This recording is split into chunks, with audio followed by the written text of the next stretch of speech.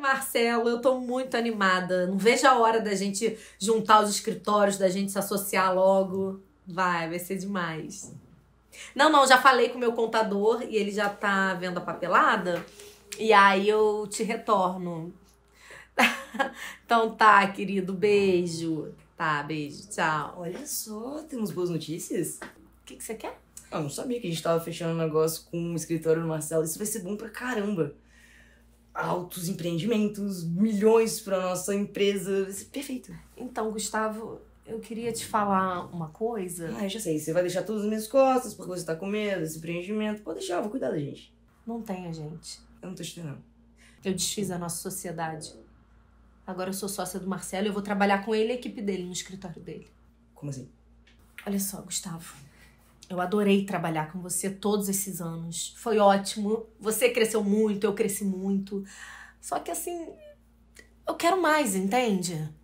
E com você do meu lado eu ia demorar muito pra chegar no meu objetivo. Você tá querendo dizer que eu tô fora, é isso? Desculpa, mas eu não queria que fosse assim. Gabriela, é metade, metade. Eu sou seu sócio. 50% disso é meu. É, você assinou. Que assinou. É isso que dá assinar sem ler. Você não tem capacidade de fazer isso comigo. Ai, Gustavo, você já foi mais inteligente, né?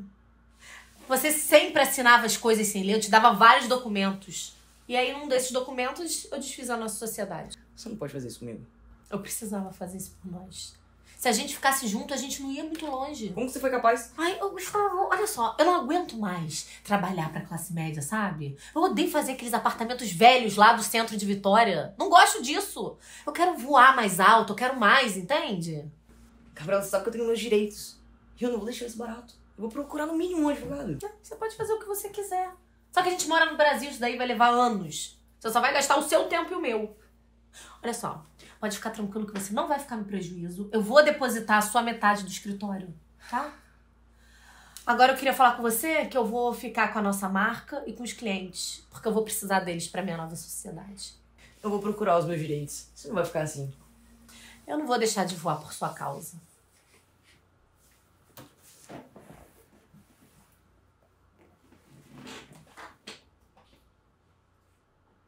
Oi, Marcelo, sou eu de novo, querido. Tudo bom?